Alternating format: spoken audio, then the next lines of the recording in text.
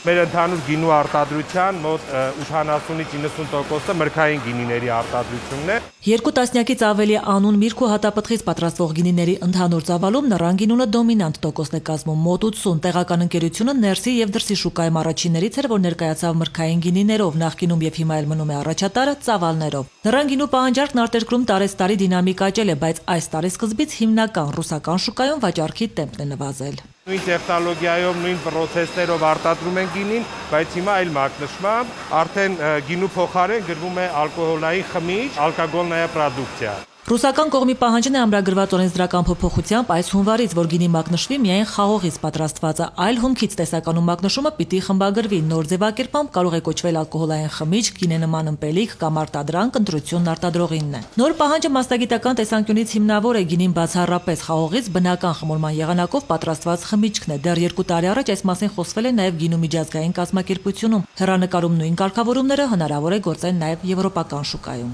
Սա իրականում մի կողմից մեզ համար դժվարություններ է առաջացնում, բայց մյուս կողմից մարտահրավեր է։ Կարծում եմ, որ ճիշտ ժամանակն է ստեղծել մեր ազգային բրենդը, ապրանքանիշը եւ ճանաչելի դարձնել հենց մեր նռանգինին որպես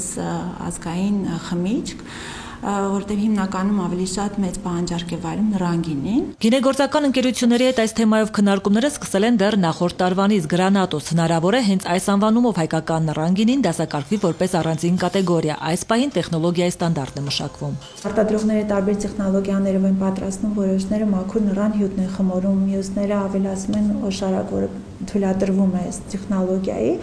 որոշները կեղևի հետ թողնում են թրմեցման։ Գինեգործների հետ պետք է հասկանանք, թե այդ որ տեխնոլոգիա պետք է պատրաստի նռանգինի, որպեսզի կոչվի գրանատոս։ Մինչև նռանգինին որպես ազգային բրենդ հրճակելն ու նոր ապրանքանիշով ներկայանալը գինու տեխնոլոգիայով ասել է թե բնական խմորման մեթոդով արտադրվող մեր նռանգինին տարեսկզբից ու դեռևս անորոշ ժամանակ կներկայացվի ոչ թե գինիների շարքում, այլ վաճառասրահների այն դարակաշարերում, որտեղ ավելի ցածրորակ ըմպելիքներն են բուրավետացված հավելումներով, եւ խնդիրն այստեղ ոչ այնքան արժեքի մեջ է, քանի որ վաճառքի գինը կարող է մնալ անփոփոխ, որքան սպառողի ընկալման փոփոխության, որ նռան գինին գինի չէ արդեն։ Հունվարի վերլուծությունը բերեց այն արդյունքին, որ արդեն մոտավոր 50% անկում ունենք վաճառքների։ Ինչ որտեղ կապված է հետոնական վաճառքների նվազման հետ, բայց մեծամասնությամբ կախված է նաև այդ դիրքի փոփոխության հետ։ Խնդիրը գործարանում համարում են իրավիճակային ու կարևորը ժամանակավոր, ուստի հակված չեն կրճատել արտադրության ծավալները, շարունակելու են արտադրել նույնքան, նույն տեխնոլոգիայով եւ նույն որակի, մինչեւ նոր ազգային ապրանքանիշի գաղափարը կիրագործվի եւ հայկական նռանգինին կվերագտնի իր արժանի տեղն ու դիրքը միջազգային շուկայում։